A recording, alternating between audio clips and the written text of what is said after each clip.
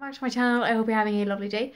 Sorry that the background is different. My room is just too much of a mess to actually go around trying to fix it and the natural lighting is going and I can't have it leaving.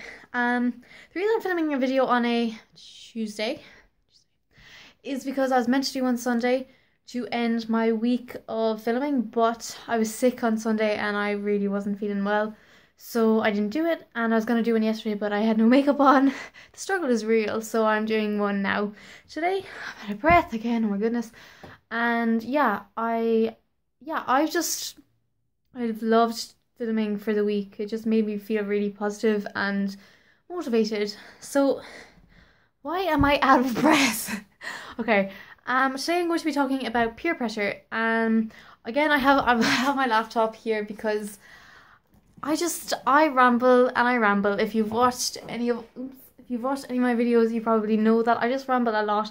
So in order to keep me on track, I have a list of things that bullet points that will help me stay on track. So I'm gonna go straight into it. So the reason I want to talk about peer pressure is because I know that it's really common and I think it deserves to be talked about. So firstly, the definition of peer pressure. So the it is the influence of positive or negative things from a member of someone's friend group. So basically somebody in your friend who's trying to oh my god. I'm so unfit. Who's who's trying to make you to do make you make you do either positive things like study or negative things like take drugs and stuff. So positive peer pressure. So this can be your friends influence you to study or to make the right decisions. So basically what I mean by this is basically if you see that your group of friends is studying a lot and they want to do really well in their exams, you're probably going to try and do the same thing and you are going to want to do well in your exams as well. Similarly, with this, uh, negative peer pressure is pressure to drink alcohol, smoke, mock someone, take drugs, lose your virginity, have sex, or get into a relationship. Now, I was a little bit, not gonna lie, I was a little bit nervous about putting sex and virginity in here because talking about that, I just feel a bit nervous, but I mean, I mean, it happens. So, if your friends are doing any of those things and they're trying to push you to do it, it can kind of seem like you have to do it because your friends are doing it. But you have to remember that if you know that you don't want to do that thing that you're being pressured to do, stand by your opinion and don't do it regardless of being called names afterwards. Because if you know that the thing that they're trying to make you to do for, say, take drugs isn't right, don't do it it's only going to make you feel bad afterwards and it's going against all of your morals and all of what you stand for.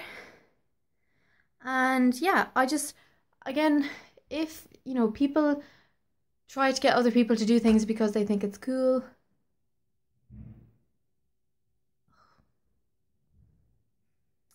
I don't know if you heard that, but yeah. And yeah. So, um, how to deal with peer pressure. Okay, so if you're in a situation where somebody is kind of pressuring you to do the thing that you don't want to do, let's say take drugs, all you've got to do is just stand up for yourself and say no, that you're not interested. They should get the hint. If you say that you're not interested in it, just say no, I'm good, thanks. Um, another way that I would probably do is change the subject. Um, by changing the subject, you're kind of distracting them and it, that gives you a chance to think of what you're going to say if they ask you again. And it gives you a chance to just try and escape the situation. However and oh also it can give them the hint that you don't want to do it. So if they by changing the subject they're like oh maybe they don't want to do it and they might take the hint. And if that doesn't work make an, an excuse and leave. I know that sounds kind of you could say that's a bit cowardly. But if they're doing something, if they're forcing you to do something that you don't want to do, leave. There's absolutely nothing wrong in it. I don't. I mean, just say that your mother called and you have to go home, or it's getting late, and things like that. Um. Also, I would say that no always means no. And if someone has said no once, they shouldn't have to say it again.